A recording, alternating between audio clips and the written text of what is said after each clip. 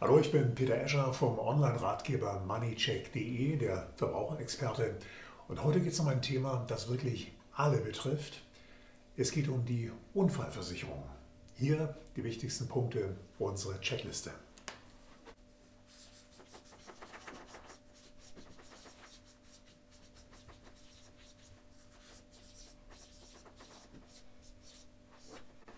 So, worauf kommt es an? Die Unfallversicherung deckt, wie der Name schon sagt, ganz anders als die Berufsunfähigkeit nur ganz bestimmte Bereiche ab. Bei der Berufsunfähigkeit ist es völlig egal, was dazu geführt hat. Bei der Unfallversicherung ist die Schadensregulierung doch eingeschränkt. Klar sein muss vor Vertragsabschluss, dass die private Unfallversicherung nur für Unfälle da ist, die in der Freizeit passieren. Sollte auf Arbeit irgendwas zustoßen, dann ist die gesetzliche Unfallversicherung des Arbeitgebers zuständig. Versichert ist lediglich ein geringes Risiko. Die Statistik sagt, dass nur 2% der Unfälle, die in der Freizeit passieren, in der Folge auch zu einer Invalidität führen. Ja, was ist denn jetzt ein Unfall, der wirklich äh, reguliert wird von der privaten Unfallversicherung? Da gibt es eine ganz deutliche Definition. Ich lese sie mal vor, damit ich nichts äh, vergesse dabei. Unfall ist ein plötzlich von außen auf den Körper des Versicherten einwirkendes Ereignis. Plötzlich auf den Körper und so weiter. Nur wenn es genau so passiert ist, gilt es als Unfall und nur solche Fälle werden entschädigt klar sein muss, bevor man den Vertrag unterschreibt, dass die Unfallversicherung nur bei dauerhafter körperlicher oder geistiger Beeinträchtigung reguliert.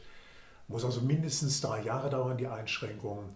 Und das Ganze ist durch ein ärztliches Attest äh, zu bestätigen.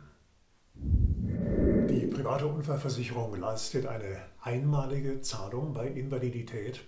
Wer jetzt eine monatliche Rente haben möchte, der muss diesen Baustein separat abschließen.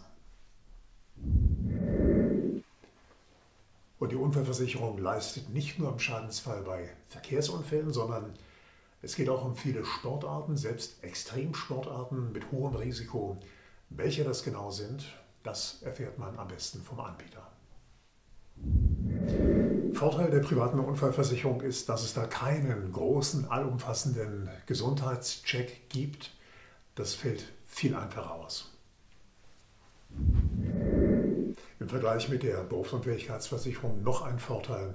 Bei der privaten Unfallversicherung ist der Beitrag wesentlich erschwinglicher.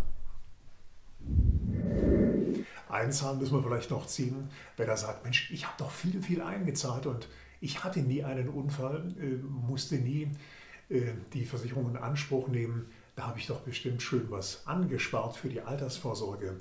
So ist es nicht. Die Versicherung ist dafür da, wenn was passiert, wird reguliert und wenn nichts passiert, ist das Geld weg. Aber Sicherheit ist auf jeden Fall da und das ist, glaube ich, auch ein gutes Gefühl. Das war's zum Thema private Unfallversicherung. Ich bin Peter Escher vom Online-Ratgeber moneycheck.de.